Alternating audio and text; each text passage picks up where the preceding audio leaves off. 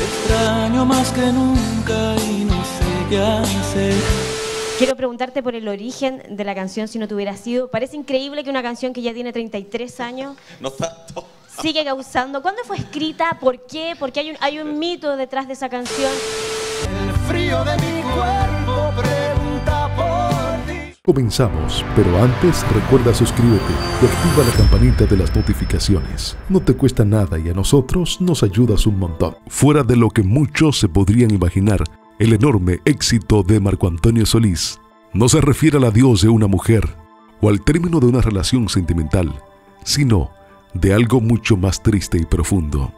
No hay nada más difícil que vivir sin ti, sufriendo en la espera de verte llegar. Una línea que muchos hemos cantado con pasión en algún momento. Es un tema memorable en la historia musical. Aquí te contaremos la historia detrás de esta composición. En primer lugar, esta canción tiene varias teorías. Uno de los rumores más fuertes apunta que el cantante mexicano la escribió tras la muerte de su hijastro, Leonardo, el hijo de Beatriz Adriana, con quien estuvo casado aproximadamente 10 años. Aquí estamos ahora también en la compañía de tu nombre, ¿cuál es?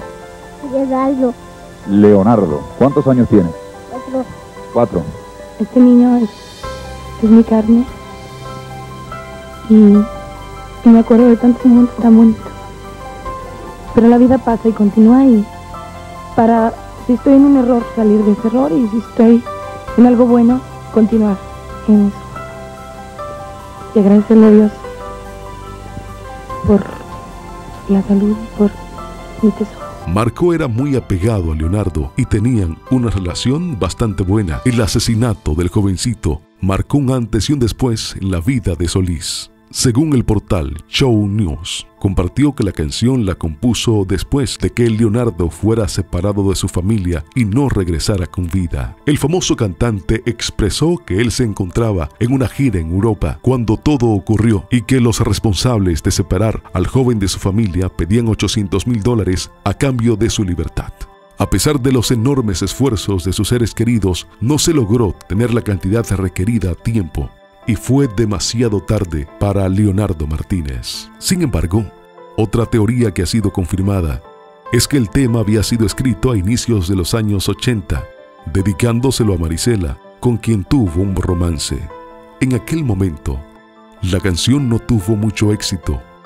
Sin embargo, se hizo internacionalmente conocida cuando se grabó 15 años después. A partir de ese momento, ese tema logró un fuerte impacto en toda América Latina y los países de habla hispana. Vendió millones de copias, fue incluido en varias telenovelas y fue el tema central de la película Y tu mamá también.